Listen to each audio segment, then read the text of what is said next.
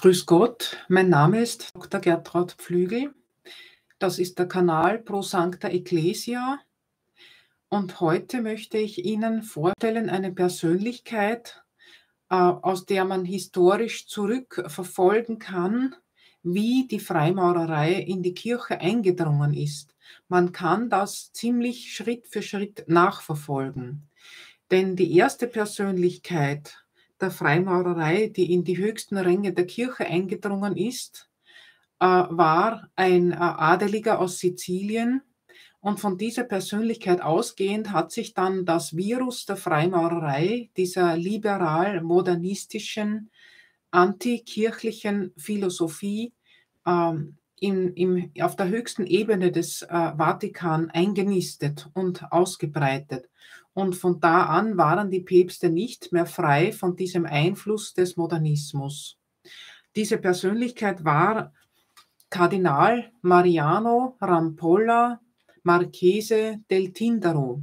Marchese bedeutet übersetzt Markgraf. Er stammte also aus einem adeligen Geschlecht in Sizilien. Er wurde geboren am 17. August 1843 und er starb am 16. Dezember 1913 in Rom. Er war von Kindheit an für den geistlichen Stand bestimmt, so liest man in den äh, Unterlagen, in den Informationen. Äh, ich möchte mich hier auch beziehen auf die Ausführungen von Dr. Gregorius Hesse. Man kann diese auch nachhören auf YouTube unter dem Kanal Marcellus. Äh, ich habe da besonders ein, ein Video oder ein Audio eigentlich äh, im Sinn, das den Titel trägt, die Zerstörung der Kirche von innen und außen. Da habe ich einige Informationen bezogen und dann auch aus dem Internet, einfach von Wikipedia über die Papstwahl, was dann hier alles Eingang finden wird in diesen Vortrag und zuletzt auch wieder Christus Vincit von Weihbischof Athanasius Schneider.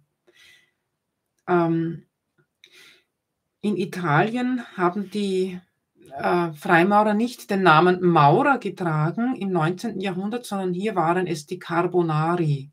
Also sie haben sich nicht aus dem Berufsstand der Maurer her verstanden, sondern aus dem Berufsstand der Köhler, was eben übersetzt bedeutet Carbonari. Und unter den Carbonari gab es eine Loge, die nannte sich Alta Vendita. Äh, das bedeutet übersetzt noble Rache. Und von dieser Loge ist uns bekannt eine, ein Dokument, die sogenannte ständige Anweisung, die ich schon vorgelesen habe in einem früheren Video, wo die Rede von einem Papst ist, der wie die Freimaurer denkt. Und das war das Ziel der Freimaurerei vom frühen 19. Jahrhundert an, ganz erklärt, die ständige Anweisung stammt meines Wissens aus dem Jahre 1829, also schon sehr früh hat man darauf hingearbeitet.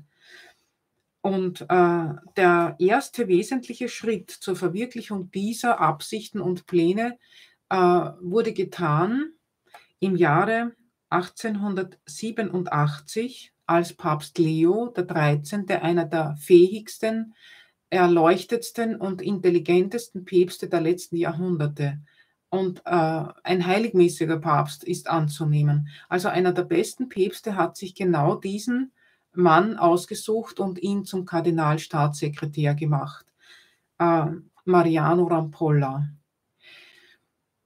Er hat es offensichtlich verstanden, sich eine, äh, einen Mantel umzulegen, ein, einen Anschein zu geben, der viele in die Irre geführt hat und so eben auch Papst Leo XIII. Äh, Mariano Rampolla war offensichtlich ein Wolf im Schafspelz. Er hat das sehr geschickt gemacht. Er galt als überaus fromm und das kann man sogar nachlesen in den Dokumenten oder in äh, Verlautbarungen der Kirche um das Jahr 1900. Also das war weithin bekannt, dass er als sehr fromm gegolten hat. Mariano Rampolla wurde 1866 zum Priester geweiht. Er war auf dem Seminar, auf dem Collegio Capranica. Dort ließ er sich zum Priester ausbilden. Dieses äh, Kolleg unterstand direkt dem Kardinalstaatssekretär, also dem Sekretär des Papstes, seiner Leitung. Und von diesem Kolleg hervorgegangen wurde er zum Priester geweiht 1866 und dann kam er bald in den diplomatischen Dienst, da er das Kirchenrecht studiert hat.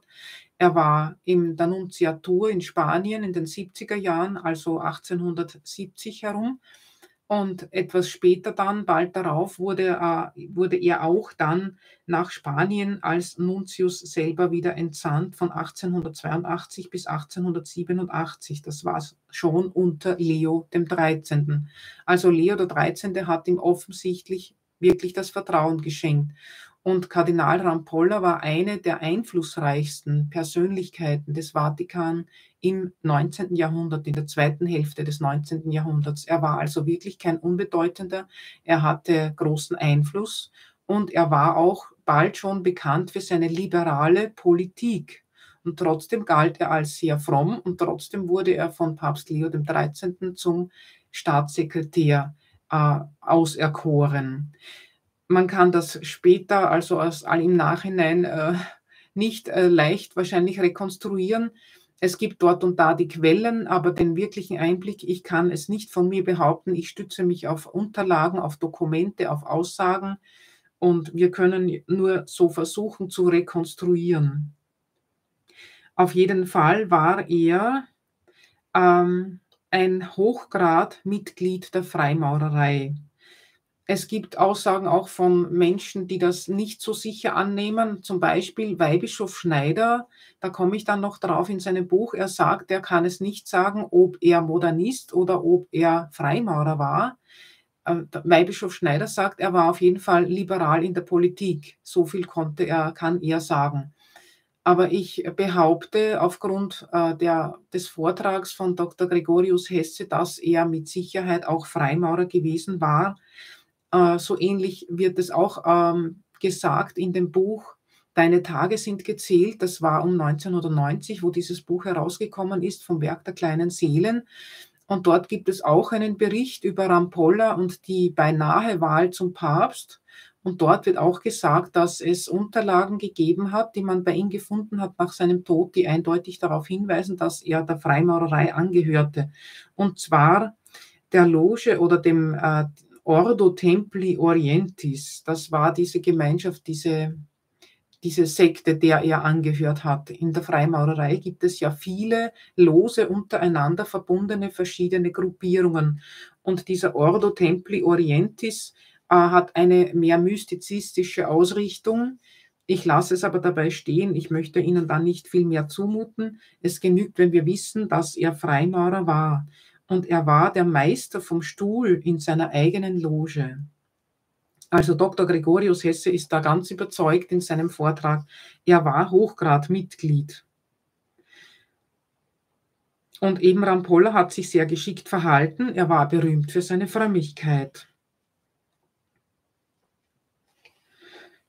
Und äh, Rampolla war in dieser Position als Kardinalstaatssekretär sehr mit großem Einfluss natürlich ausgestattet. Er war die rechte Hand des Papstes. Er hat seine Agenten vertreten und umgesetzt. Das heißt, äh, geschaut, dass die Pläne, die Absichten, die Worte, die Anweisungen des Papstes dann auch wirklich durchgeführt werden in der Kirche.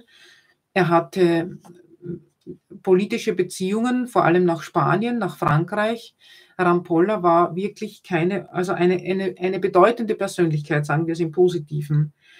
Und er war eben der erste Vertreter der Freimaurerei in hoher Position, also unmittelbar beim Heiligen Stuhl, unmittelbar beim Papst, direkt neben ihm an seiner Seite. Und ich möchte Ihnen jetzt ein bisschen etwas erzählen über die Papstwahl, wo es darum ging, 1903 Leo XIII. ist im Jahr 1903 im Alter von 93 Jahren gestorben. Und Kardinal Rampolla galt für viele als der natürliche Nachfolger, wie man auch heute noch sagt, als Papabile, der, der Kandidat mit den besten Aussichten, könnte man so formulieren. Ähm, ich bringe zuerst einmal ein paar Details von ähm, Dr. Gregorius Hesse vorab und dann diesen Bericht aus dem Internet. Gregorius Hesse hat nämlich ganz interessante persönliche Informationen für uns. Ähm, er, er sagt in seinem Vortrag, bei der Papstwahl hat Kaiser Franz Josef das Vetorecht genützt, das dem österreichischen Kaiser seit dem Beginn des 17. Jahrhunderts möglich war, mit dem er äh, eingreifen konnte. Das ist eigentlich ganz ungewöhnlich, dass ein weltlicher Herrscher in die Wahl eines Papstes eingreifen kann. Aber dieses Recht hat der Kaiser gehabt von Österreich seit dem ungefähr seit dem Jahre 1604, also seit dem Beginn des 17. Jahrhunderts. Und dieses Veto hat der Kaiser Franz Josef genützt, als Rampolla die meisten Stimmen hatte bei diesen Wahlgängen während des Konklaves. Der Kaiser hat sich nicht an den Kardinal von Österreich gewendet.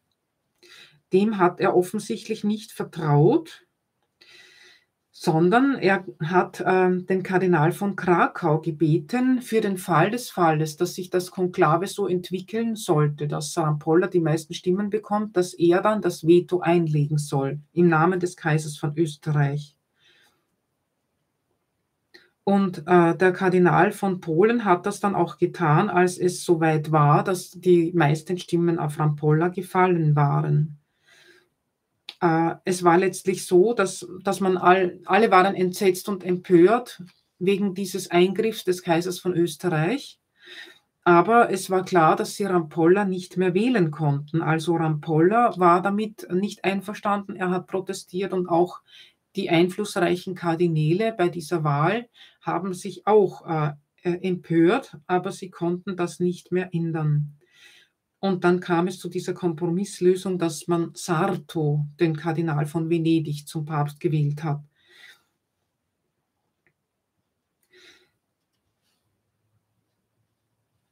Und ja, das, das wollte ich Ihnen noch sagen. In diesen Vorträgen von ähm, Dr. Hesse, er erzählt dort, dass äh, der Kaiser von Österreich sichere Informationen gehabt hat, und zwar vom Geheimdienst, dass äh, Rampolla tatsächlich Freimaurer ist.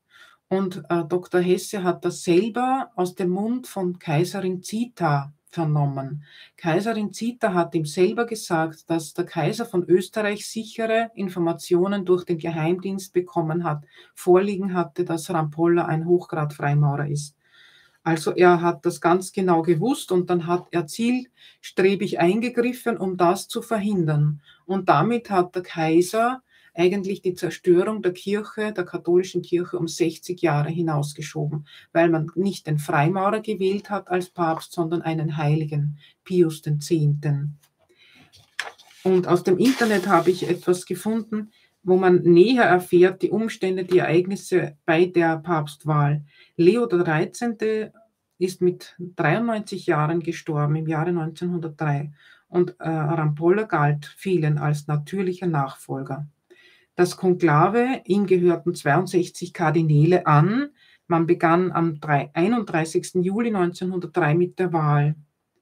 Die erforderliche Mehrheit war bei zwei, 42, also zwei Drittel der Stimmen musste der Nachfolger auf sich vereinigen. Von den 62 mussten also 42 für den neuen Papst stimmen, damit diese Wahl gültig ist. Und dadurch gibt es mehrere Wahlgänge, dann wird das kristallisiert sich das sozusagen heraus. Beim ersten Wahlgang sieht man schon, wer die meisten Stimmen auf sich konzentriert und dann wird der Wahlgang wiederholt, solange bis das, der, bis das ein Kandidat diese 42 Stimmen erreicht.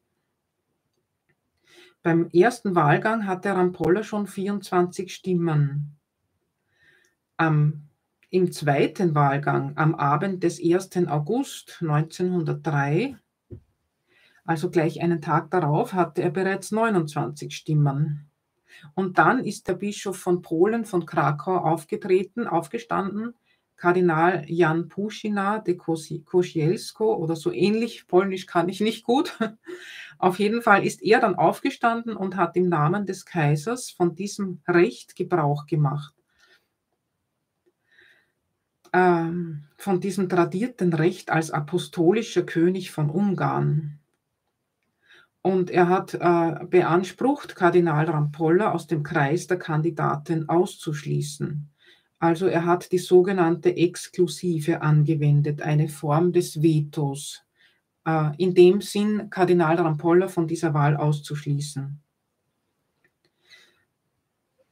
Äh, die Kirche war mit diesem Vetorecht seit dem 17. Jahrhundert konfrontiert äh, durch die katholischen Monarchen, aber sie war stets erbittert oder, oder also sie war, die Kirche war keineswegs glücklich über dieses Vetorecht, dass katholische Monarchen sich einmischen konnten.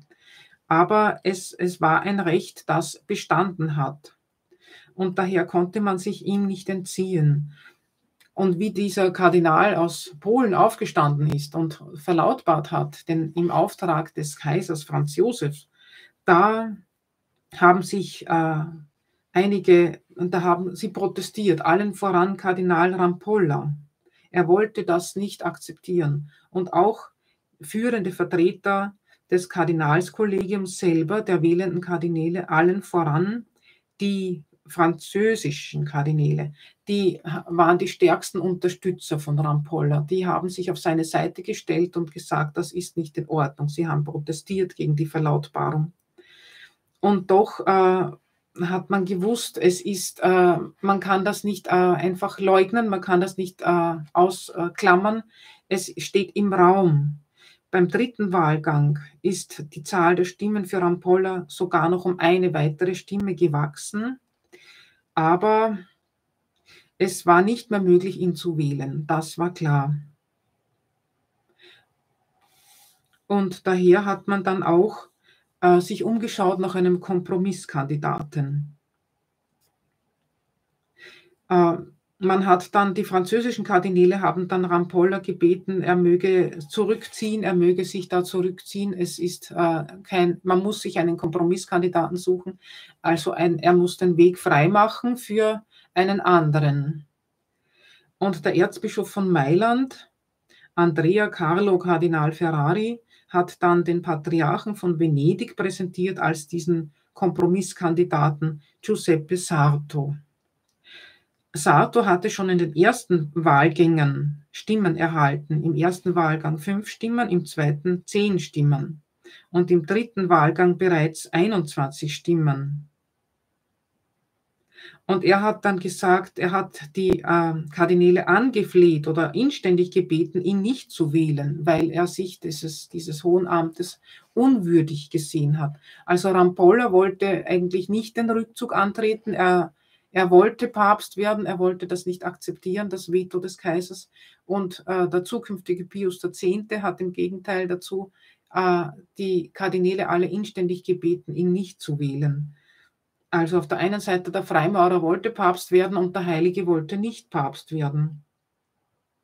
Also die französischen Kardinäle haben dann äh, auf Rampolla eingewirkt, er soll die Kandidatur zurückziehen, damit äh, seine Unterstützer, also die Unterstützer von Kardinal Rampolla selber, einen für sie annehmbaren Kompromisskandidaten präsentieren könnten. Sie haben das auch getan als äh, auch aus Taktik. Sie haben gesehen, Rampolla kann nicht mehr gewählt werden. Jetzt wollten Sie einen für Sie annehmbaren, also auch einen liberalen. Wenn es äh, nicht der Rampolla ist, dann wenigstens einer, der ihm ähnlich ist. Kardinal Rampolla hat sich zuerst geweigert, eben seine Kandidatur aufzugeben. Er hat gesagt, dass die, das Konklave selber die Entscheidung finden muss und dass da eine Einmischung der kaiserlichen Interessen eigentlich nicht in Ordnung ist. Das das Konklave muss seine Freiheit bewahren. Aber es war eben dann so, dass viele Kardinäle keine andere Möglichkeit gesehen haben, als für Sarto zu stimmen. Und er gab schließlich seinen Widerstand auf und wurde im siebten Wahlgang zum Papst gewählt. Also es gab sieben Wahlgänge, dann waren die 42 Stimmen, erforderlichen Stimmen für Sarto da und er nahm den Pius, Namen Pius X. an. Es war dann der heilige Papst Pius X. Es ist ganz offenkundig und unbestritten, dass er ein Heiliger war. Das haben gleich die, die Mitglieder des diplomatischen Korps gesehen, gleich nach seiner Wahl, als er ihnen vorgestellt wurde. Sie waren alle beeindruckt, einfach nur beeindruckt. Und er hat ja als Kardinal von Venedig schon seine Fähigkeiten bewiesen, seine Gaben, sein Geschick, seine Frömmigkeit und seine, äh, also auch seine politischen Fähigkeiten, seine seine Gabe, wirklich eine ganze Diözese zu führen.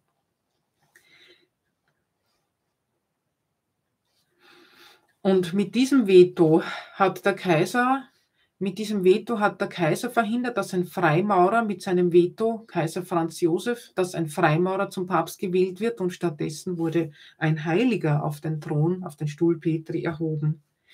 Und dieser Heilige, er hatte also viele Gaben des Geistes. Er hat äh, die, klar die Irrtümer erkannt. Er hat klar gesehen den Weg, den die Kirche äh, einschlagen muss.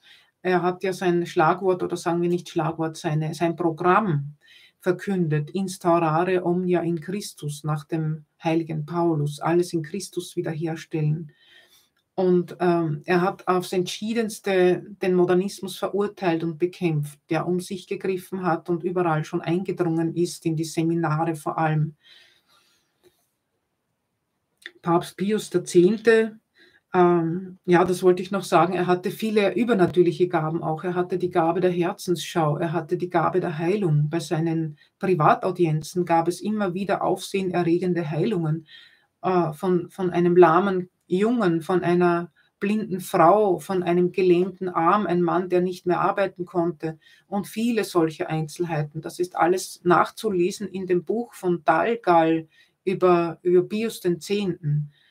Das ist wirklich zu empfehlen. Dieses Buch ist zusammengestellt aus seinem Heilig, also Selig- und Heiligsprechungsprozess. Die gesamten Unterlagen sind da gesichtet worden und das Wertvollste, Interessanteste aus seinem ganzen Leben ist da in einer spannenden Biografie zusammengestellt. Eben auch diese Gaben, diese übernatürlichen Gaben, die der Papst dann gehabt hat. Und er hat von Jugend an äh, so heiligmäßig gewirkt als Priester, als Kaplan schon, er hat alles für die Armen gegeben. Er hatte sich für sich selber nur das Nötigste zum Leben zurückbehalten. Er hat alles immer hergeschenkt. Und schon wie er noch jung war, haben sie schon gesagt, äh, die, die Bevölkerung, das, die Gemeinden, wo er war, Il Santo, Santo. Und auch die Kinder haben gesagt, äh, bei der Privataudienz zum Beispiel, oder wenn sie den Papst gesehen haben, Jesus, die haben ihn mit Jesus angesprochen. Solche Dinge. Also der Papst hat etwas so stark Übernatürliches ausgestrahlt, die Gegenwart Christi ausgestrahlt, dass äh, man sich, äh, dass alle das irgendwie wahrgenommen haben. Und die Kinder, wie es halt so ist, haben diese Wahrheit einfach ausgesprochen in aller Öffentlichkeit. Also Papst Pius X. war wirklich ein Geschenk. Er hat den Modernismus, der sich damals ausgebreitet hat, entlarvt mit seiner Enzyklika Pascendi vor allem im Jahr 1907. Er hat diese Irrlehre philosophisch, theologisch und historisch nach allen Seiten hin aufgedeckt und äh, einfach ähm, wirklich entlarvt und ähm, aber leider nicht erledigt. Er hat es ähm, er hat es gezeigt, war, wie falsch es ist und dass die, der Modernismus eigentlich in den Atheismus führt. Er kommt her vom äh, Protestantismus, das hat er alles ausgeführt in dieser Enzyklika. Und er endet im Atheismus, im Glaubensabfall. Das hat er hier ganz klar nachgewiesen.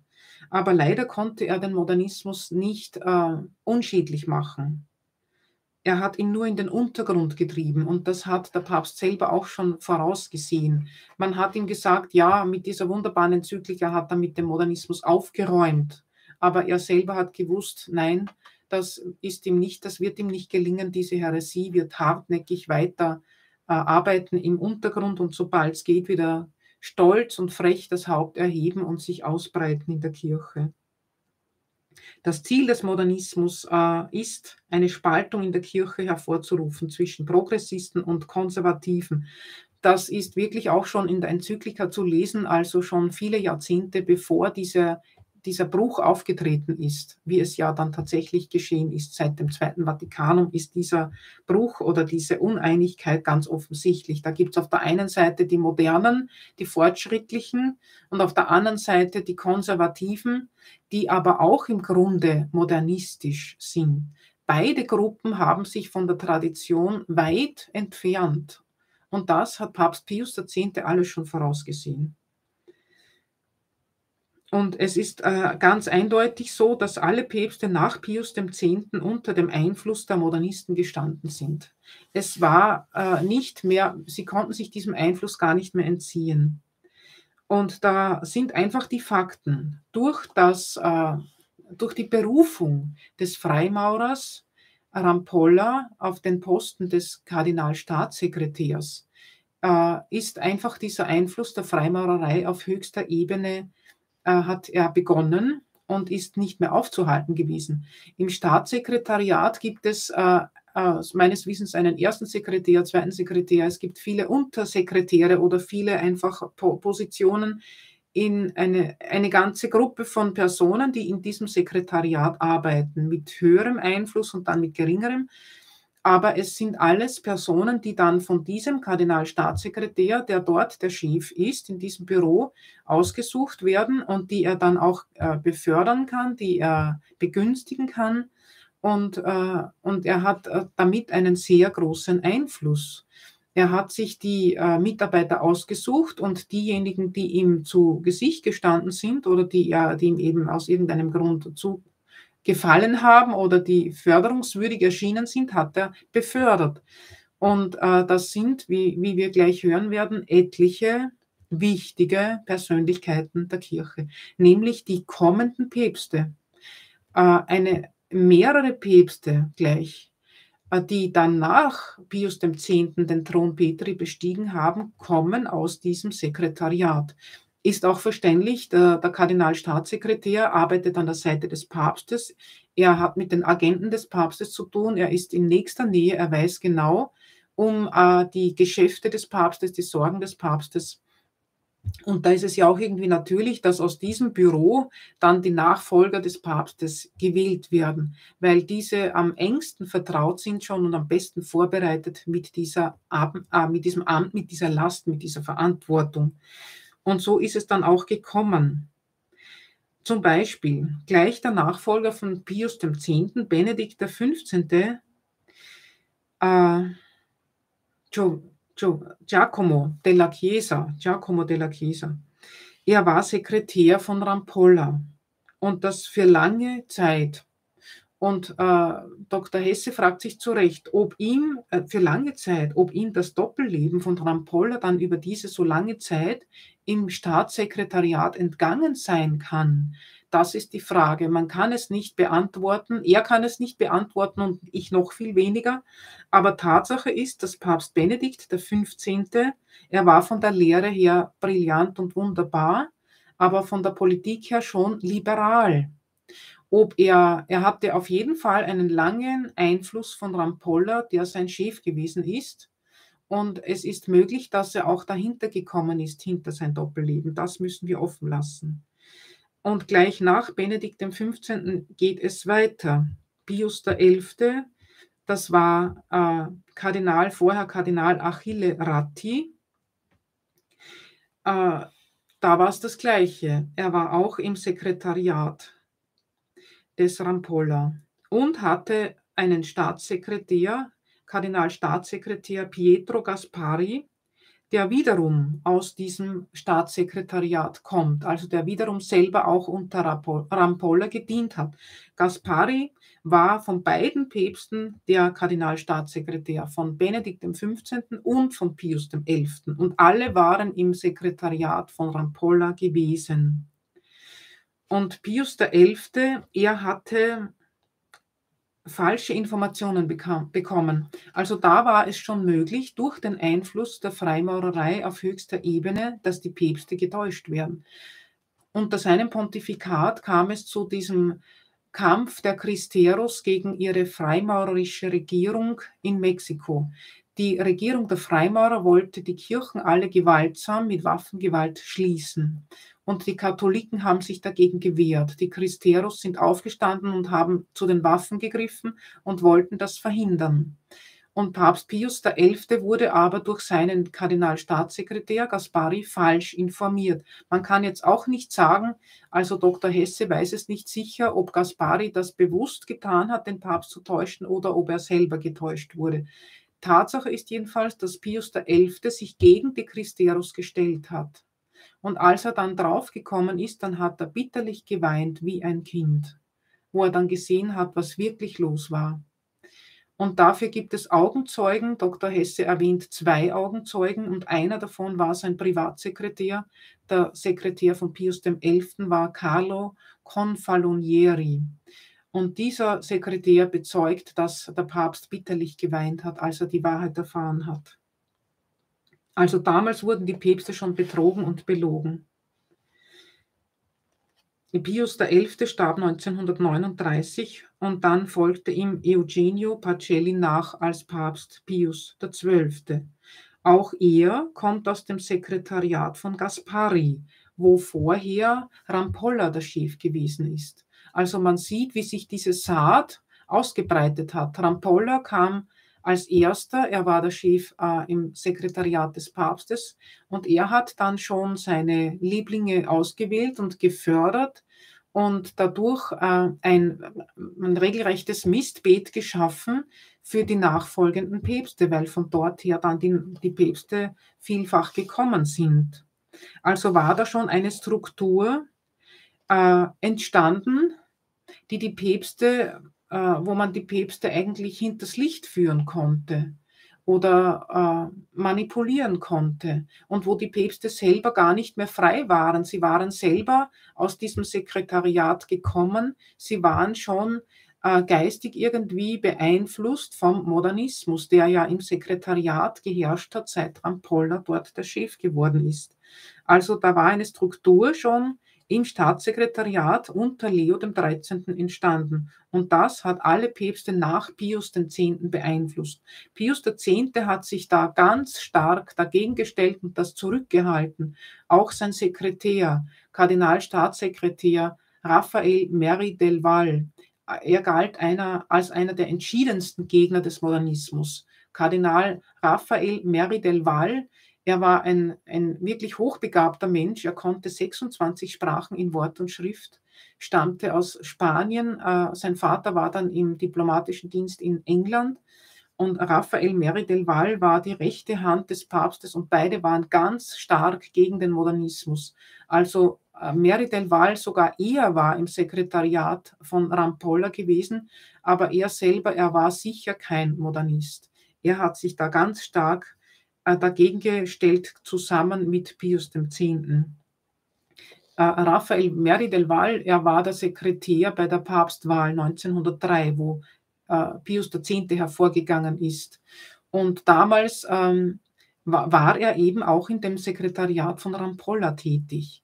Und als Prosekretär dieser Papstwahl, damals noch Bischof, wurde er dann automatisch zum Kardinal befördert, denn es ist der Brauch, wenn ein Kardinal zum Papst gewählt wird, dann wird, dann rückt ein anderer wieder in das Kardinalskollegium nach.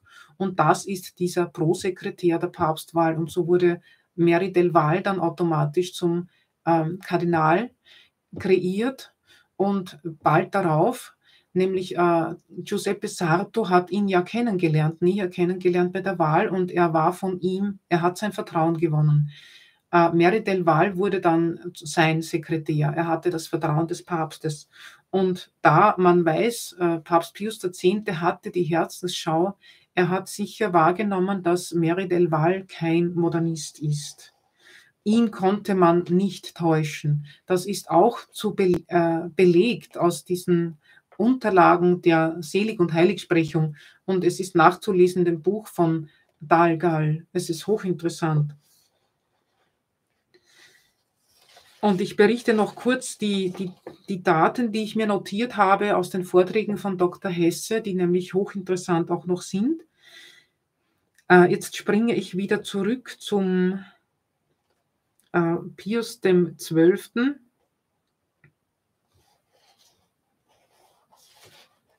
Er sagte persönlich zu Heinrich Trimmel bei einer Heinrich Trimmel, ich kenne diesen Herrn nicht, aber Dr. Hesse erwähnte diesen Namen, da gab es eine Privataudienz aus Österreich äh, und dieser Herr war dabei. Und zu, zu diesem Herrn hat Papst Pius XII. gesagt, ich bin der letzte Papst der alten Kirche. Also die Infiltration durch den Modernismus äh, und Liberalismus war schon so weit fortgeschritten. Papst Pius XII. hat das ganz genau gewusst. Er ist der letzte Papst von, vom alten Schlag, wenn man es so umformulieren möchte der letzte Papst der alten Kirche. Er hat gewusst, nach ihm kommt keiner mehr, wie er ist, von der Tradition, sondern einer, der vom Modernismus einfach durch, äh, durchdrängt ist. Äh, da haben dann die Freimaurer wirklich ihre Rechnung aufgehen gesehen. Aus der ständigen Anweisung wissen wir ja, sie wünschen sich einen Papst nach ihren Bedürfnissen, ein Papst, der so denkt wie sie. Da, da gibt es auch diesen äh, Ex-Kanonikus, der exkommuniziert worden ist, Roka, der das auch schon im 19. Jahrhundert gesagt hat, so wie die Alta Vendita. Er träumte auch von einem Papst, der eine modernisierte, eine sogenannte reformierte Kirche leiten wird und der so denken wird wie die Freimaurer. Also das sind keine Einzelfälle, sondern das war ihr Programm einfach. Und so weiß man, zur Zeit von Pius XII. hauste damals schon in den Dikasterien der römischen Kurie das Gedankengut der französischen Revolution. Freiheit, Gleichheit, Brüderlichkeit. Und diese Parolen äh, prägen eigentlich das äh, Zweite Vatikanische Konzil. Wenn man die Dokumente liest, dann findet man die Spur von Freiheit, Gleichheit, Brüderlichkeit äh, in, ja, ständig wiederkehren. Das, das ist durchdrängt von diesem Geist. Es ist schlimm, aber es ist tatsächlich so. Deshalb hat auch Pius XII. diese Enzyklika geschrieben, Humani Generis, wo er die äh, Irrtümer, die sich damals immer mehr schon verbreitet hatten, verurteilte. Äh, zum Beispiel Henri de Lubac, ein, ein Neomodernist. Er hat dann auch das Zweite Vatikanische Konzil entscheidend beeinflusst. Aber leider hat äh, der Papst nur seine Irrlehre und nicht seinen Namen verurteilt. Also da war der Modernismus schon weit vorgedrungen, also diese Infiltration mit diesem Ungeist in der Kirche, das sieht man auch nach Aussagen von Prälaten, äh, nicht Prälaten, sondern Dr. Hesse. Sein Onkel war der Prälat Hesse, der 1935 in Wien zum Priester geweiht wurden, wurde. Und Prälat Hesse war eine, ja, eine große Persönlichkeit in, in, in der Wiener Diözese. Jetzt fällt mir auch ein, ich muss richtig stellen. Kaiserin Zita hat das zu Prälaten Hesse gesagt, dieses Geheimnis von Kaiser Franz Josef, dass er sichere Informationen vom Geheimdienst hatte. Prälat Hesse hat das gehört. Äh, Roncalli, der spätere Papst Johannes der 23., er war schon als Prälat im Heiligen Offizium verdächtig. Es gibt Dokumente, Aufzeichnungen im Vatikan er war schon verdächtig, eben dieser Richtung liberal, modernistisch. Und trotzdem wurde er als Nuntius nach Paris entsandt und äh, als Pariser, äh, ja, als Nuntius in Paris wird er automatisch Kardinal. Das ist einfach eine, eine Norm, so ähnlich wie der, das Oberhaupt von Mailand unbedingt Kardinal werden muss. Das ist eine Tradition. Und so eben war Montini später der Nachfolger von Johannes dem 23. Er wurde Erzbischof von Mailand, Montini, und in den 50er Jahren und er bekam dadurch automatisch auch die Kardinalswürde und wurde später dann zu Papst Paul VI. Obwohl man auch von ihm wusste, so wie von Roncalli, dass er in seiner Gesinnung fragwürdig ist. Paul VI., man wusste, dass er kommunistische Tendenzen hatte oder mehr noch. Er hat die kommunistische Studentenjugend sogar angeführt seitens der Kirche. Er hatte eine kommunistische Einstellung und wurde dennoch zum Papst gewählt. Und das zeigt, dass die Unterwanderung durch die Freimaurer schon weit gediehen war. Soweit der Beitrag von äh, Dr. Gregorius Hesse. Und nun möchte ich Ihnen noch ein paar oder die Aussagen von Weihbischof Schneider präsentieren, die uns das Bild noch ergänzen und vervollständigen, soweit es jetzt äh, in, im Nachhinein möglich ist. Er sagt, Weihbischof Schneider sagt, es ist kein Geheimnis, dass der Nachfolger von Pius X., das war Benedikt XV., mit dem Pontifikat von Pius X. nicht glücklich war. Denn äh, Pius X. hatte eine radikal antiliberale Politik und Benedikt XV. hingegen, äh, er hatte die, den Stil von Rampolla einer liberalen Politik. Und hier sagt der Weihbischof eben, Benedikt XV. war ein Schüler des berühmten Kardinals Rampolla. Er, er drückt dies so aus, einer sehr geheimnisvollen Persönlichkeit, die mehr zum politischen Liberalismus neigte und der radikal, radikal antiklerikalen und freimaurerischen französischen Republik jener Jahre nahe stand. Also das allein sagt ja auch schon viel. Wenn ein Geistlicher, ein führendes Mitglied der, der, des Vatikan, der radikal antiklerikalen und lieber, also der antiklerikalen Politik nahe steht, der freimaurerischen Politik Frankreichs. Also das meines Erachtens sagt das ja ohnehin schon alles. Und dann sagt der Weihbischof, er weiß nicht, ob Kardinal Rampolla ein Modernist oder ein Freimaurer war. Jedenfalls hatte er ganz klar einen Hang zum politischen Liberalismus.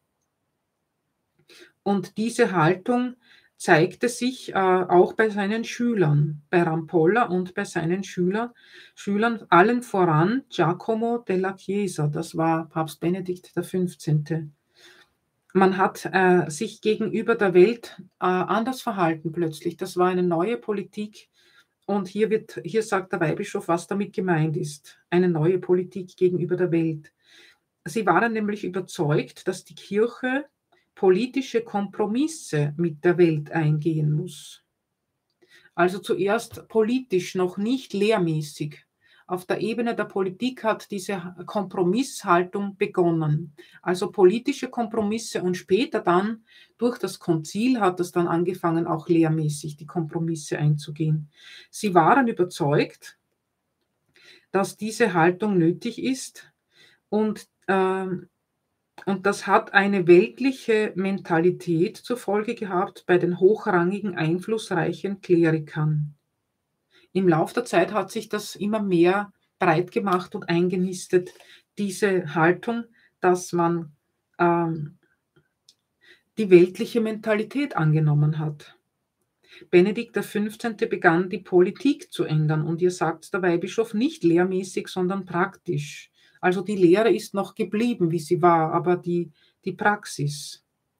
Er hat einige Männer, es, es hat nämlich konkret so ausgesehen, er hat einige Männer in kirchliche Ämter berufen, die keine eifrigen Verteidiger des Glaubens waren. Das war sein, sein äh, politischer Stil. Er hat sich Männer ausgesucht, die nicht so äh, apostolisch und evangelisierend und missionierend aufgetreten sind, also den katholischen Glauben nicht so hervorgekehrt haben, sondern sich äh, ja einfach ähm, still gewesen sind, was den Glauben betrifft und ein offenes Ohr für die Welt gehabt haben.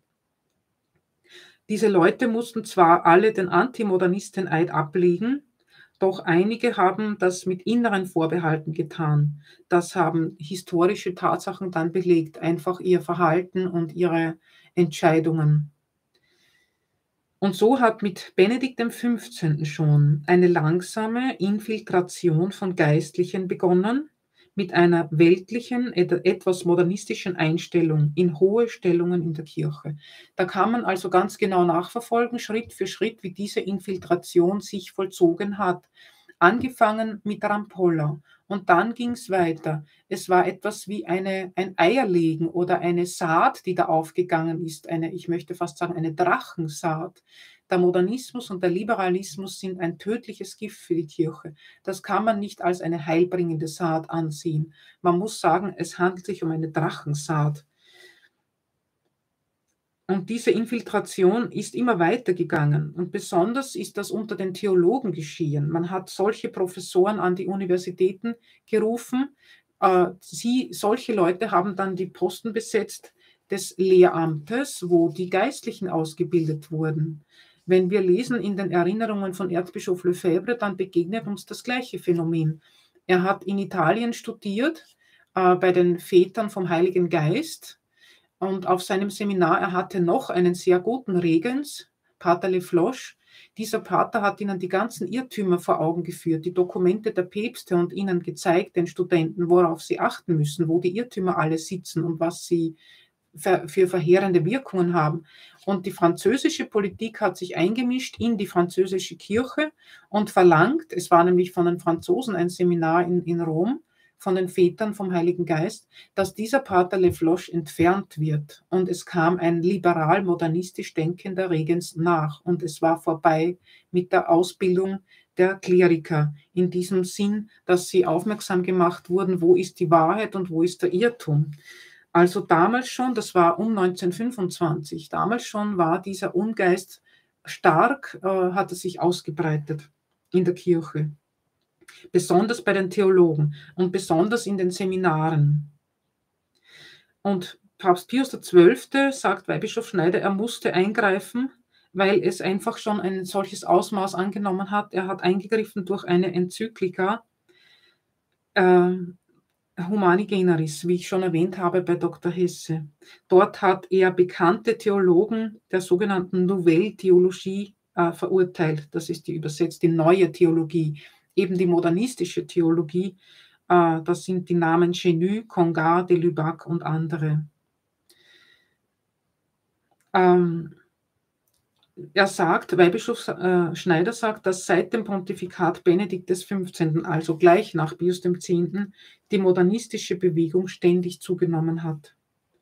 Und so ging es äh, ständig äh, immer mehr, immer mehr, also wurden, sind immer mehr solche modernistischen Theologen berufen worden, auf Professorenposten gesetzt worden und äh, auf führende Positionen gekommen. So war am Vorabend des Zweiten Vatikanums daher schon ein beträchtlicher Teil der Bischöfe, also des Episkopats und der Professoren an theologischen Fakultäten und Seminaren von einer modernistischen Mentalität geprägt.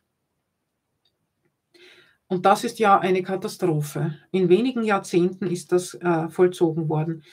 Im Wesentlichen kam das zum Ausdruck im lehrmäßigen und moralischen Relativismus. Also die Lehre wurde schon abgebogen. Die Lehre war nicht mehr dieselbe. Da gab es schon Veränderungen.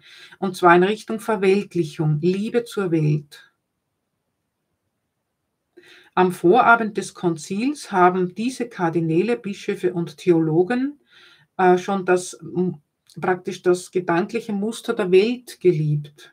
Sie wollten der Welt gefallen.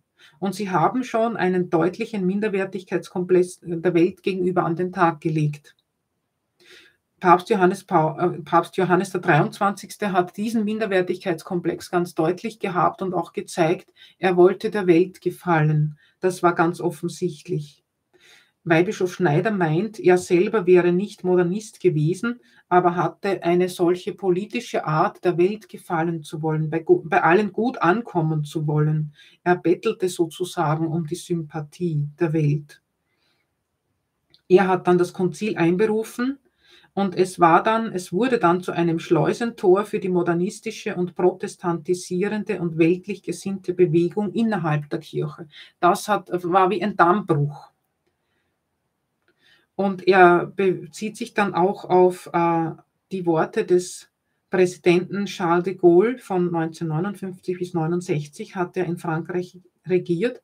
Und Charles de Gaulle hat einen sehr passenden Ausspruch gemacht über Johannes den 23 äh, über diesen Reformprozess, der vom Zweiten Vatikanum ausgelöst wurde.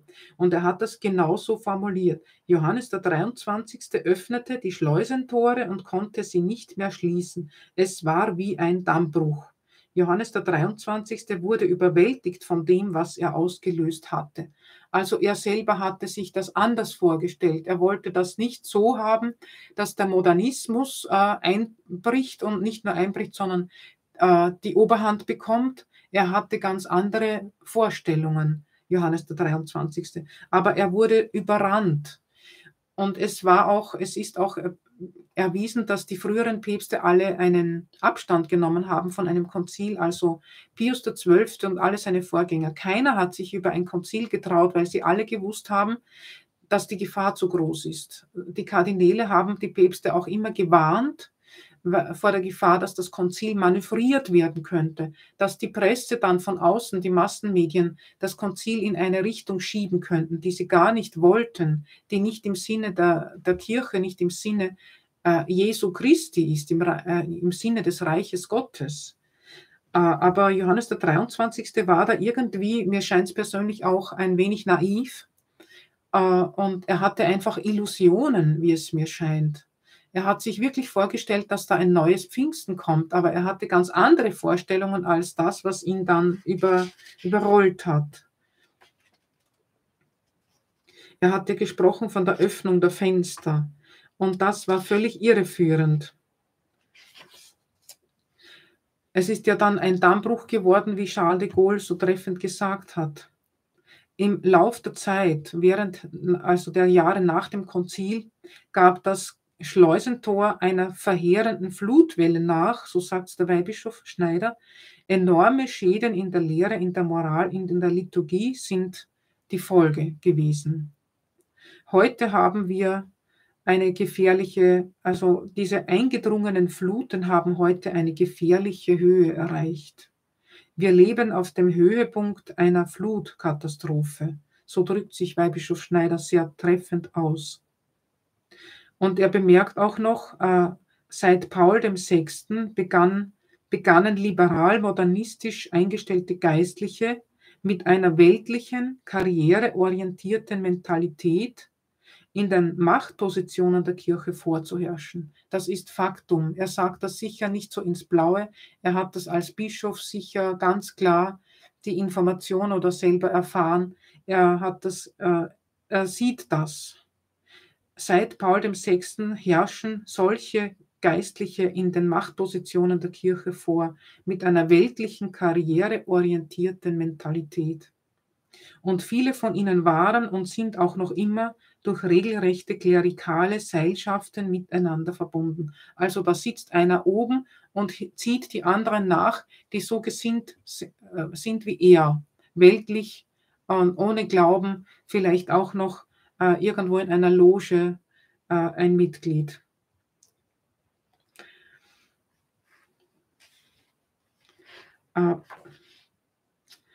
Er erwähnt auch die Enzyklika von Papst Pius X. Pascendi. Das ist eine ganz herausragende und wichtige Enzyklika.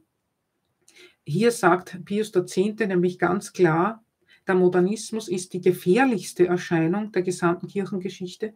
Und das, was wir heute haben, ist ja die Frucht des Modernismus, die volle Frucht. Bei der Pius-Bruderschaft ist man sich auch einig. Papst Franziskus, sein Pontifikat ist die volle Frucht, die ausgereifte Frucht des Modernismus. Es ist die gefährlichste Erscheinung in der gesamten Kirchengeschichte, hat Pius X. gesagt. Er ist das, das, der Modernismus ist das Sammelbecken, die Synthese aller Heresien aus allen Zeiten, also alle, die es gegeben hat, die es gibt und noch geben wird. Da hat alles Platz. Wegen seines Re Relativismus und Glaubensmangels. Da hat alles Platz, nur nicht die Wahrheit, nur nicht die überlieferte Lehre, die auf Jesus Christus zurückgeht, auf die Väter zurückgeht. Nur das nicht, aber alles andere hat Platz, alle Irrtümer, alle Glaubensschwäche, alle ja, Verdunkelung.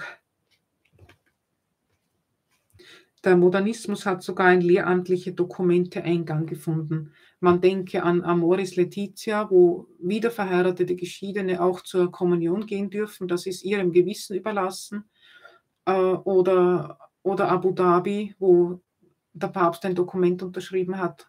Demnach würden, würde Gott selber die Verschiedenheit aller Religionen, die es gibt, äh, ausdrücklich wollen. Also da sind eindeutige Irrtümer in Lehrdokumenten. Äh, Bischof Schneider ist überzeugt, heute hat sich der Schleier gehoben und der Modernismus hat fast sein gesamtes hässliches Gesicht gezeigt. Wenn die Krise in der Kirche vorüber ist, dann wird äh, die Aufgabe anstehen, alle diese Phänomene zurückzuweisen, die heute im Leben der Kirche eine so große Rolle spielen. Und die Kirche wird es tun, denn sie ist göttlich. Sie kann das nicht ungetan lassen. Sie wird es mit Genauigkeit tun und all die Irrtümer richtigstellen, die sich angesammelt haben angefangen mit einigen mehrdeutigen Formulierungen in den Konzilstexten, meint er. Also es sind, ich bin überzeugt, ich bin nicht vom Fach, aber es sind nicht nur einige mehrdeutige Formulierungen, es ist das ganze Vatikanische Konzil, alle Dokumente sind durchtränkt wie ein Schwamm äh, von diesem Ungeist. Man kann diese Texte gar nicht so bestehen lassen, wie sie sind. Wenn man aufmacht ein solches Dokument und zu lesen beginnt, dann geht schon, äh, dann nimmt man schon diesen Ungeist auf. Diese Formulierungen sind alle in sich so vergiftet einfach, so verbogen. Sie verdunkeln das Licht der Wahrheit. Man kann diese Dokumente überhaupt nicht äh, so lassen, wie sie sind. Eben, es ist meine Überzeugung, man muss sie völlig streichen. Man muss alles völlig neu aufsetzen. Äh, Weihbischof Schneider sagt, ich hoffe nicht nur, dass ein zukünftiger Papst oder ein Konzil etwas in dieser Art veröffentlichen wird, also das Zweite Vatikanum richtig zu stellen. Er ist überzeugt, es wird die Kirche in ganz unzweideutiger Weise tun, wie das ja schon öfter geschehen oder immer geschehen ist in Zeiten ernsthafter Krisen. Die Wahrheiten des göttlichen Glaubensgutes klar zu lehren, die Gläubigen vor dem Gift des Irrtums zu schützen und sie auf einem sicheren Weg zum ewigen Leben zu führen, das ist äh, das innerste Wesen einfach der Aufgabe des Papstes und der Bischöfe. Das ist ihr Amt, das ist ihre Verantwortung. Und deshalb ist er sicher, dass man nicht nur dieses Konzil und die Irrtümer richtigstellen sollte, sondern es wird geschehen müssen. Ein zukünftiger Papst muss das tun, so sagt er hier wortwörtlich. Ein zukünftiger Papst muss das tun, denn die Kirche ist göttlicher Natur und sie hat Irrtümer immer verurteilt. Ja, so viel zu, zur Wahl des Freimaurers, zur beinahe Wahl des Freimaurers Rampolla und der schlimmen Saat, die er in die Kirche gestreut hat, von an höchster Stelle, so dass die Päpste auch selber davon infiziert worden sind, wider Willen, nolens wohlens, mehr oder weniger. Äh, und ja, und dieser zukünftigen Aussicht der sicheren Hoffnung, dass die Kirche selber die, alle diese Irrtümer wieder ausscheiden wird. Das Gift wird aus dem Leib Christi wieder verschwinden, es wird ausgeschieden werden. Und so wollen wir auch hoffen und vertrauen und beten für den Papst, für die Bischöfe, für die Theologen, in dieser sicheren Hoffnung, dass es geschehen wird und dass es bald geschehen möge, dass es eine vollständige Ausscheidung aller dieser schlimmen Irrtümer geben möge, die, äh, die sich alle unter diesem Namen des Modernismus angesammelt haben in dieser Zuversicht, in dieser Hoffnung und in dem Vertrauen auf das Eingreifen der Immaculata, die unsere Mutter ist, die der Schlange den Kopf zertreten wird, die allein alle Heresien auf der ganzen Welt besiegt hat. In dieser Zuversicht möchte ich Sie ganz herzlich grüßen und, äh, und ich freue mich auf ein Wiedersehen mit Ihnen. Gelobt sei Jesus Christus.